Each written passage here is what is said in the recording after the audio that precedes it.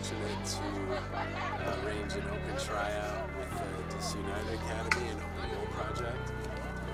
We've had over 180 registrations.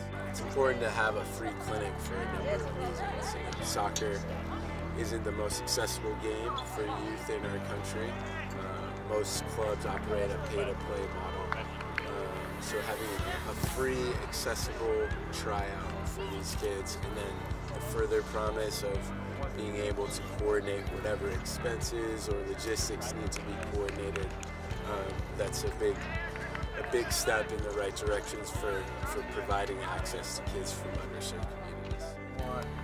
A good day of positive soccer, right? A lot of encouragement. Right? Be careful with your tackles, be careful with fouls, right? Definitely stay disciplined, watch your language, right? Make sure you know you're representing yourself, your schools, your families, Open Goal Project. The DC United Academy partnering with Open Goal Project, I think for us, uh, it was great. The turnout was massive.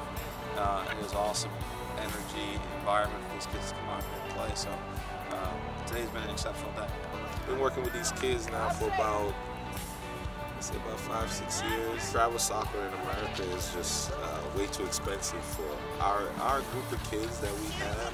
Um, you know, parents just don't have the means. You know, having having these type of opportunities and having open goal um, is, is, is, changing lives. Typically, when we do tryouts or free talent centers, we'll get um, we try to expand beyond our typical player pool that we might normally see from within the DC metro region. So uh, this is a pool of players in which uh, I haven't seen before. Most of these guys all play local middle schools and high schools, um, and it's hard to get contact with these guys to get them to come out to certain tryouts. So for us, we saw 200 kids today that we hadn't seen before, so it was, it was great.